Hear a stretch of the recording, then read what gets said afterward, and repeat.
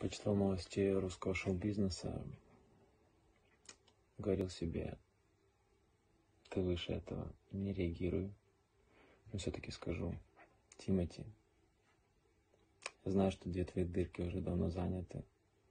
И не понимаю, как ты нашел время, чтобы освободить свой рот и предъявить ко мне какие-то высказывания, когда ты видишь, как граждане Российской Федерации, солдаты, убивают украинских людей, детей, крушат города.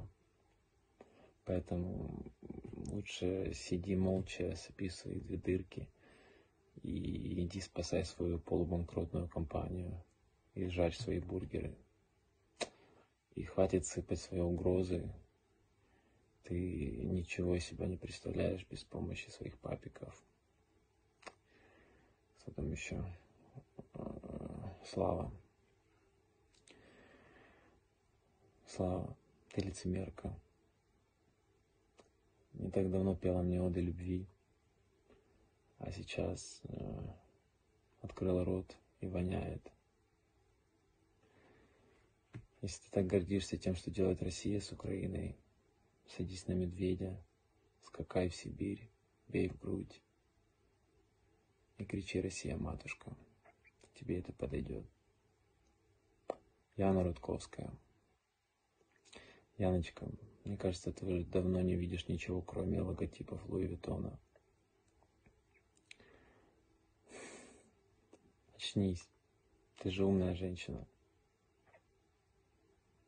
Уже сдала в аренду каток, уже уехала из России. Как так? Вы же патриоты все. Куда же вы бросаете родину? Скоро китайская партия Луитонов должна прийти в Россию, хотя это не факт. Бузова, Леди Бу в Дубаях тоже улетела.